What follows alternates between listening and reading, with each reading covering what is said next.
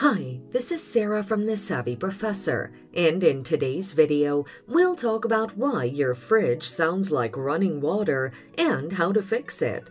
Watch the video until the end to learn how to do this and more. Here are possible reasons why your fridge sounds like running water. The drain pan is overflowing.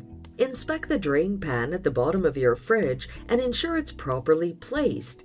If it is overflowing with defrost water, drain it and see if the running water sound disappears. A defective sensor. The running water sound may be due to a technical failure in your fridge's sensor.